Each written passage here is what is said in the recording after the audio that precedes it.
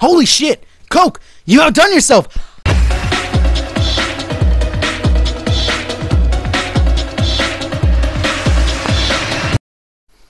As you may have seen, people, I am very enthusiastic about the greatest invention ever made by the Coca Cola Company. Check it out! You know what this is? It's some brass knuckles that apparently broke off. No, I'm just fucking with you. Watch. This is what my stepdad just like totally showed me yesterday. Watch. You get your can, put it right there, and snap it on. And I forgot to open it, but there you go. Look at that. Bam! It's your own personalized soda mug that you can drink.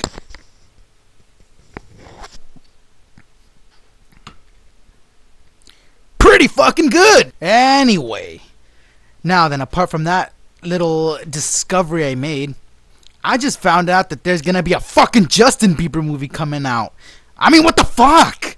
Look, it took me one fucking week to calm down from this rage fit. That something just just like an abomination. It's like trying to fuck a goat with a fucking deer's head. Where the fuck that analogy came from, I have no idea. Anyway, moving along, back to Justin Bieber. Look, being able to sing with autotune is not a talent. Otherwise, fuck, I think I'd probably be the most talented artist out there. If I sang with autotune anyway. Apart from that, no one gives a fuck about Justin Bieber and his little hardships. Look, your balls have not dropped yet. Obviously, once they drop, your career's over. I probably will walk up to Justin Bieber, unzip my pants, whip out my dick and nuts, and be like, You see this? This is what a real man looks like. Right there, bitch.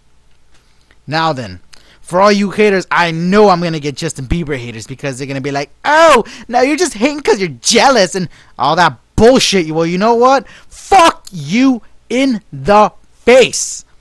Justin Bieber sucks, and you fan people are a bunch of fucking morons. And also, I would like to state that Justin Bieber is in fact a woman that had a sex change. Okay, maybe I'm lying right there.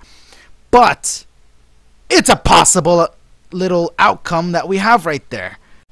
So, in conclusion, I would like to know give me your two cents on this Justin Bieber movie an abomination or a gift from above.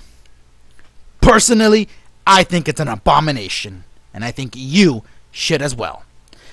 Don't forget to subscribe to the channel where your thoughts count. Now then, this is Miguel Rodriguez. These are my two cents.